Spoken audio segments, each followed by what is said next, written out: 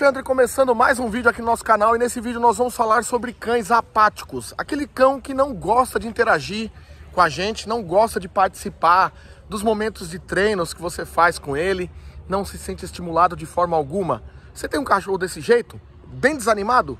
Fica comigo nesse vídeo que eu vou te ensinar como lidar com ele.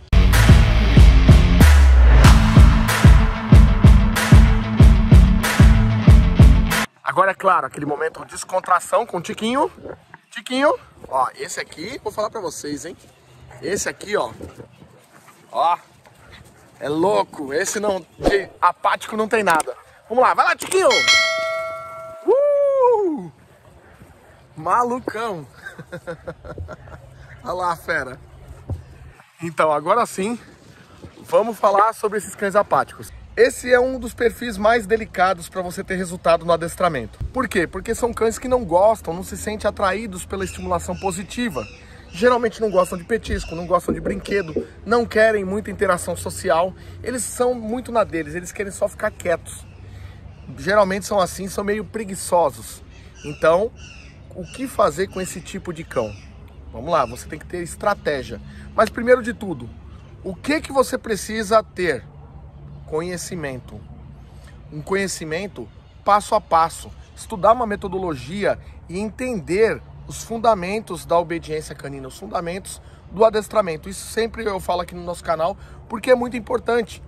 Dicas ajudam pontualmente a resolver certos problemas com os nossos cães. Mas um método, ele é uma base, ele traz para você uma clareza para você montar todo o passo a passo de um adestramento para ter um cão obediente que vai acompanhar você por toda a vida ao seu lado, sempre obedecendo. Então, por isso é muito importante você estudar, ter conhecimento, investir em conhecimento em adestramento canino, em comportamento canino. Isso é importante para você viver bem aí com o seu melhor amigo. Depois, você precisa observar se esse seu cão, ele realmente é um cão apático ou é você que não sabe como atrair e estimular esse cão. Então vamos lá. O que, que eu posso fazer para testar o meu cão para ver se ele é um cão apático realmente, se é um cão que é de difícil manejo ali, porque é desanimado, ou eu sou o desanimado da história e, consequentemente, o meu cão não corresponde tão bem na, é, diante das estimulações no meu treino. Você precisa observar o seguinte: você sabe estimular bem o seu cão com movimentos de caça. É isso mesmo, movimentos de caça. Por quê? O cão, ele tem aí, ele é um animal predador, geralmente eles têm o instinto, a gente diz o impulso de caça ali dentro deles, né? Alguns apresentam isso de forma mais acentuada, outros não. Que é aquele interesse de perseguir um brinquedo, como eu mostrei com o Tiquinho aqui no começo desse vídeo, é perseguir o brinquedo. Né? Eu tava brincando ali com um pedacinho de pau e ele doido atrás do movimento. Eles perseguem o movimento e eles querem morder, capturar a caça. Ele capturou o pauzinho quando eu joguei para ele. Ele tem um instinto de caça bem presente, o Tiquinho. Então o que, que acontece? Você tem que observar se você tentou já brincar com um brinquedinho se, se esse brinquedo você conseguiu dar vida para ele com movimentos corretos, ou se você é uma pessoa muito desanimada e só ficou assim, ó. Ah, vai pegar o brinquedo. Ah. Aí não tem cachorro que se anima, né? Outro ponto também é que esses movimentos de caça você pode transferir para a comida. De repente seu cachorro parece que não está gostando muito de comida, mas será que, primeiro, Será que você privou ele o suficiente para usar os petiscos durante a aula, o alimento durante a aula, para você reforçar comportamentos de andar junto, sentar, deitar, enfim, tudo que você quiser ensinar com os petiscos. Para ter resultado, o cachorro tem que estar tá com fome no momento da aula, da sessão de treino. Pensa, se ele está de barriguinha cheia, está satisfeito, como ele vai querer e vai ter interesse em seguir algo que tem nas suas mãos para aprender os movimentos do adestramento ali através dos petiscos que você vai oferecer para ele. Não vai. E além disso, mesmo ele estando, você deixando ele num estado de privação ali naquele momento da aula, ele com interesse pela comida que você tem nas mãos, mesmo assim você tem que saber também como se movimentar.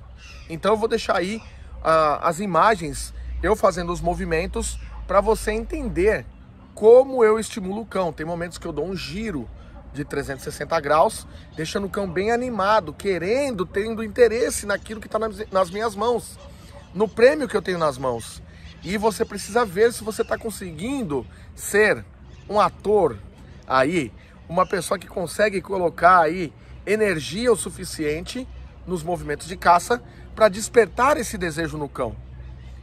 E aí muitas pessoas às vezes confundem. Por quê? Não sabem como brincar com um brinquedo com o cão, não sabem como brincar com a comida nas mãos, fazendo o cão perseguir a comida para poder ganhar, ou seja, ele ser um batalhador para ganhar a estimulação positiva. E aí, se você for muito devagar e frio na hora da sessão de treinamento, o cachorro tende a ser frio também. E aí confunde com um cão apático. Ah, meu cachorro não gosta de petisco, ele não gosta de brinquedo, como que eu vou recompensar ele? Tem esse fator então que você tem que observar primeiramente. Agora, é claro, existem realmente cães que você vai fazer tudo isso, vai se esforçar com energia, com a sua movimentação e mesmo assim não vai corresponder. Aí sim, estamos tratando então de um cão apático. E aí vamos para mais uma parte sobre as informações de um cão apático, como a gente vai lidar com ele. E um exemplo que eu posso deixar aqui foi do meu aluno Ivan Pazin, que ele teve uma dúvida uma vez em um dos encontros online que a gente faz com as nossas turmas do CWD 15 por 15 online.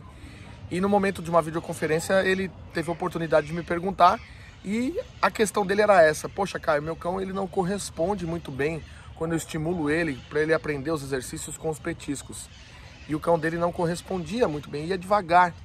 E aí eu dei algumas orientações para ele em relação a movimento, a como estimular o cão e o cão começou a corresponder de uma maneira muito melhor. E hoje ele tem aí um cão obediente. No caso dele, o cão não era apático. O que faltava era ele transmitir a energia através do treino. Mas aí então você fez tudo isso que eu te falei aqui no vídeo, estimulou e mesmo assim testou ali no seu cão e ele não responde. Ele é bem paradão, desanimado, só tá ali na dele. Então vamos entender o plano de ação. Primeiro, experimenta mais algumas vezes privação e saciação. E privação e saciação não é só de alimento. É claro, se você vai usar o alimento, o cão tem que estar tá com fome. Então, se você passa um tempinho do momento que ele vai fazer a refeição dele, se ele tem os horários certinhos, que é o que eu recomendo, seu cão tem o horário certinho para se alimentar. Deixa passar um pouquinho daquele momento, porque ali você sabe, ele já é um reloginho, ele já sabe, nossa, 7 horas da manhã, tá na hora da comida. Só que você estende esse período. E aí ele vai estar tá com fome, eu quero comida, eu quero comida. Naquela hora que ele tem fome, ele vai responder melhor. Então, com a, a privação e saciação, ela serve para o alimento, para você treinar um cão. Mas, se você já detectou que isso não funciona para o seu cão, tem um outro recurso para o cão apático, que é privação e saciação da liberdade. Da liberdade. Como funciona isso? Por exemplo, se o seu cão já está acostumado, tá? Se não, tem outros vídeos no nosso canal que a gente fala sobre esse assunto. Do cão se sentir à vontade e relaxar dentro de um canil, dentro de uma caixa de transporte de cão, que é importante o seu cão saber se comportar dentro dela, porque se você não sabe o futuro, de repente você precisa fazer uma viagem de avião ou dentro do seu próprio carro, o seu cão tem que ir dentro de uma caixa. E se ele não sabe se comportar, já viu, né? Você vai ter problema. Então, você precisa aplicar para testar aí com esse cão privação e saciação em ambiente, tirando, a liberdade dele por um tempo, ou seja, você deixa ele até bom porque ele vai descansar antes da aula, então você deixa ele algumas horas dentro de um canil, dentro de um quintal menor, é, uma área menor com um portãozinho, você fecha ele lá e deixa ele lá sem ter acesso ao resto da casa. Isso vai fazer com que ele tenha o desejo de sair, e no momento que você percebe sinais em que ele começa a ficar um pouco mais inquieto, é o momento de você pegar ele, aplicar o seu treino para poder liberar ele, para ele ganhar liberdade como uma recompensa pelo ato de te obedecer quando você vai soltar ele ali. Então esse é um grande recurso para os cães apáticos. Um outro ponto importante que já aconteceu comigo, eu peguei um cão que apesar dele não ser apático no dia a dia dele, ele comigo, na minha presença, ele era. Ele, ou melhor, ele tinha, ele manifestava os sinais da apatia, mas na verdade era porque ele era um cão muito inseguro também. Então esse cão, quando ele estava comigo, por ser inseguro, ele ficava meio que travadinho na minha presença. Por quê? Ele era de um cliente meu, eu passava lá dois dias da semana para pegar esse cão, só que esse cão não foi socializado. Então era um cão muito fechadão e ele tinha medo de outras pessoas. E pasmem, era um cão da raça Pitbull, que falam que é perigoso e tudo mais. Essa cadela da raça Pitbull, ela não era perigosa, pelo contrário, ela tinha medo de pessoas estranhas. E eu era o estranho que fui contratado para poder educar ela.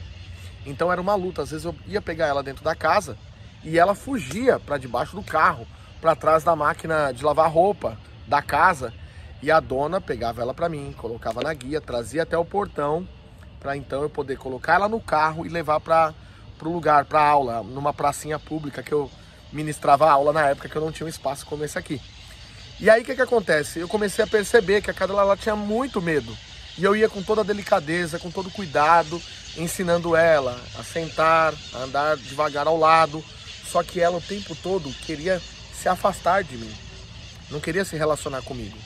E aí um, um certo dia eu pensando, falei, o que, que eu vou fazer para essa cadela aprender os movimentos, né, os exercícios de obediência que o dono vai precisar se ela fica totalmente travada, travava a musculatura, ficava muito rígida ali na minha presença. Falei, beleza, vou começar a pensar diferente. Em um determinado momento, eu tirei ela da. Eu tinha uma Fiorino, tirei do baú da Fiorino. Quando eu colocava no chão da praça, ela já estava louca para voltar para pular de volta dentro do carro. E aí na hora eu percebi, eu falei, ótimo. Descobri o que ela quer e o que ela não quer. Quando você descobre no treino o que o cão quer e o que ele não quer, você tem que pensar diferente. Não pensar só nas recompensas de petisco e de brinquedo. O cão vai mostrar o que ele está querendo. E isso é algo mais importante e poderoso para você usar como reforço positivo para o treino. E aí o que, que eu comecei a fazer? Eu falei, ah, então ela quer voltar pro baú da Fiorino? Muito bem, eu vou usar isso a meu favor. Ela estava lá, aí eu passei a tirar ela de dentro do carro. Quando ela chegava no chão, eu já pedia para ela fazer algo, um comando ali que ela já conhecia. Senta, por exemplo. Ela se sentava e a recompensa era, ok, pode voltar pro carro. Aí ela pulava de volta pro carro, eu prendia ela bonitinho no carro e deixava ela quietinha que ela queria ficar lá quietinha, isoladinha. Eu deixava ela lá. Pegava um outro cão, ali de dentro do carro, saía com ele para a praça, ministrava a aula dele, guardava ele de volta, voltava nela para repetir mais um pouco dos exercícios, tirava ela de novo, falava: cachorrinha linda, se você senta, eu te devolvo pro conforto de dentro do carro. E assim eu comecei a embutir ali uma sequência. Depois, ó, você senta, você deita, eu libero você, para sua recompensa, que é ficar confortável na zona, ali na zona de conforto dentro do carro.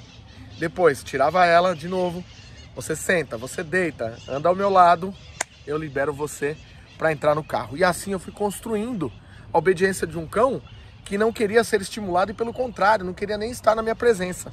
E assim eu fui, eu fui construindo pouco a pouco a obediência dessa cadela. Viu só? Uma cadela que não gostava de estimulação também, da minha parte e ela foi construída dessa forma. Eu descobri a recompensa oculta, a recompensa onde não havia recompensa. Pensa sempre fora da caixa no treino. Se você quiser, na verdade você tem que estar fora da caixa para ter resultado de alto nível com cão. Um outro exemplo que eu posso dar aqui é de um amigo meu, treinador de cães, o William. Ele treinou também um Rottweiler e esse Rottweiler não gostava de, não, não tinha o desejo pela caça, de seguir, perseguir um brinquedo. E ele tentava ali com brinquedos tradicionais, né, a bolinha, o tug, que são materiais aí apropriados já para adestramento, para você jogar com o cão, e nada desse cão ter interesse. Só que um certo dia, a filha dele estava passando em frente ao canil do cão com uma bonequinha. E a, a boneca caiu da mão dela e saiu rolando ali a, a boneca. Quando a boneca saiu rolando, o cachorro teve interesse. Mostrou no olhar de dentro do canil que ele queria aquele brinquedo. E o nosso amigo William percebeu isso. E a partir daí, o que, que ele fez? Ele pegou a boneca, testou, balançou na frente do cão e o cão teve interesse. Soltou o cachorro, entregou a boneca pro cachorro, o cachorro, nhaque, pegou a boneca. E aí ele entendeu, nossa, tá aqui o brinquedo que eu preciso usar. Então, às vezes, a recompensa vai surgir para um cão que não gosta de ser estimulado de alguma cena, de alguma situação do dia a dia que você tem que estar tá, observando e conhecendo o seu cão para que isso aconteça. Depois disso, o que, que ele fez? Tirou a cabeça da boneca do corpo e começou a treinar só com a cabeça da boneca. A cabeça da boneca era a bola dele, daquele cão. E aí o cão começou a ficar muito bem treinado. Moral da história, ele se tornou campeão brasileiro com esse cão. Um cão que nem gostava tanto assim de recompensas. E agora eu vou falar para você de mais um recurso que você pode usar com um cão apático. Eu já peguei uma cadela também que realmente não gostava de petisco, não gostava de brinquedo. Uma outra cadela também da raça Rottweiler e essa cadela deu trabalho para mim. Ela não queria saber de nada também. E aí eu comecei a ter dificuldades. E aí, em conversa com um professor, ele me falou o que eu precisava fazer. E aí eu montei um esquema de treino. Nesse esquema de treino, eu comecei a fazer o seguinte. Eu levava essa cadela para treinar em um campo de futebol. Um campo público onde não, não aparecia ninguém nesse campo. Ali no bairro do Parque Novo Mundo, na zona norte de São Paulo. E aí o que eu fazia nesse campo? Eu costumava levar os cães com o meu carro de transporte, os cães dos clientes. Eu colocava eles todos ali embaixo das árvores, ia treinando um por um. Só que aí, qual foi a ideia com essa cadela? Foi pegar ela e todos os cães ficavam aqui comigo, só que ela eu levava longe, na outra trave, do outro lado do campo, e prendia ela em uma guia lá na trave, do outro lado em uma corrente de ferro, né? Porque guia de lona você tem que tomar cuidado, porque às vezes o cachorro pode mastigar, cortar e ó, sumir. E aí é um problemão. Eu deixei ela em uma corrente de ferro a uma longa distância. Os outros cães estavam agrupados tudo perto, só que ela ficava isolada sozinha. Eu causava um problema para eu ser a solução desse problema. E qual que era o problema? Cães assim não gostam de ficar sozinhos. Cães são animais que são acostumados a viver em grupo. E quando você isola um do grupo e coloca afastado, gera uma certa insegurança. Então esse foi o problema que eu causei. Insegurança e ao mesmo tempo a privação da liberdade em uma longa distância. Ela começou a se sentir desconfortável de ficar sozinha ali. E ali ela ficava por alguns minutos. Então ela ficava uns 10 minutos ali, enquanto eu estava treinando um outro cão aqui. Depois que eu terminava o treino desse cão aqui, eu ia lá. Só que eu ia me aproximando. Ei, garota, vamos passear? Vamos passear, vamos passear. Ia chegando perto e conversando. A primeira vez ficou desconfiada ainda, ficou séria, porque também não gostava muito de mim. Aí eu cheguei e tirei ela. Só soltei ela da corrente, coloquei na minha guia e saí na ponta da guia passeando. E aí ela saiu passeando e aí eu trouxe ela para perto dos outros cães, porque os cães gostam de ficar em grupo. Então eu trouxe ela para perto do grupo. Fiz isso uma vez, duas, três, com intervalos de 10, 15 minutos ela isolada. Não demorou muito para que no meio do caminho, quando eu me direcionava, eu ia na direção dela e dava alguns passos ainda do lado de cá, bem longe. Nos primeiros passos que eu dava na direção dela, ela já começou a dar sinais que estava gostando, que sabia que eu ia lá, que eu era a chave da libertação dela. E já começou a ficar assim. E lambendo assim a boquinha. começou a ficar animada. O que que acontece? Ela, come... eu... ela começou a entender que eu era a chave que soltava ela. Beleza. Então agora eu me aproximava dela, soltava ela, só que quando eu chegava perto ela já estava toda empolgada. E assim foi progredindo, até chegar um ponto que quando eu ia soltar, ela estava eufórica. Olha só, eu busquei um desejo dentro dela. Eu criei um problema eu era a solução, a chave da libertação dela, e eu comecei a ser alguém que representava algo positivo. Eu tinha o poder de evocar a emoção positiva nela. A minha presença, porque ela sabia que eu estava chegando para trazer boas notícias, estava chegando para trazer coisa boa, a liberação dela. E aí então quando ela ficou feliz comigo, aí eu comecei. Antes de soltar ela, eu chegava lá, colocava na minha guia, falava para ela, olha, senta, sentava, muito bom, saía correndo com ela para passear e se divertindo. Depois, da mesma forma que eu fiz com a Pitbull, eu fazia com ela. Sentava, deitava, muito bom, pode sair para passear. e saía correndo com ela. Conquistei ela de uma tal maneira, essa cadela ficou tão feliz, ela chorava de alegria quando me aproximava. E ali eu fui montando, soltando ela da trave do gol, eu ia montando cada exercício de obediência e fui montando ali a sua sequência. Moral da história, essa era a cadela Zelda. Ela foi campeã do ranking da APRO, Associação Paulista do Rottweiler, na categoria Gincana Profissional, que era uma prova de obediência completa básica, com guia e sem guia. Ela nunca fez menos de 98 pontos em uma prova que vale 100 pontos. Só para vocês terem ideia. Ela ficava entre 98 e 100 pontos. Ganhou o ano inteiro de 2002 ou foi 2013, eu não lembro agora porque já faz muito tempo. Do, ano de 2002 ou 2003, campeã do ranking da gincana profissional da APRO foi Zelda Von Skywalker. Era o nome dela. Então, olha só, um cão que era triste, apático, como que pode isso? Se tornou campeão de adestramento de uma associação aí, de uma entidade aí, uh, sinófila. Então isso por quê? Porque nós usamos técnica, recursos importantes que fazem com que um cão triste se torne um cão alegre. Mas para isso, lembra, você tem que estar ligado naquilo que o cão mais quer e aquilo que ele não quer. E aquilo que ele não quer pode ser algo para você usar como uma moeda de troca. Ele faz o que você quer e aí você dá o alívio para ele. Então você tem que saber também o que ele não está querendo e o que ele está querendo. E às vezes não é petisco, não é brinquedo, não é nada disso. Você tem que estar com o olho aberto para aquele indivíduo que você tem aí na sua casa. Então, independente se ele é alegre ou se ele é um cão apático, também é possível você ter ele bem obediente e educado. Bom, se eu te ajudei nesse vídeo, eu vou pedir para você o meu petisco, que é a minha recompensa, é o meu like. Deixa o like no vídeo e compartilha com pelo menos três pessoas que tem aí cães tristes, desanimados e que nem sabem muitas vezes que podem ter esse cão bem obediente. Compartilha com essa pessoa. Vamos fazer o bem, porque quando a gente faz o bem, o bem volta pra gente. Fechou? Tamo junto, até o próximo vídeo. Tchau, tchau.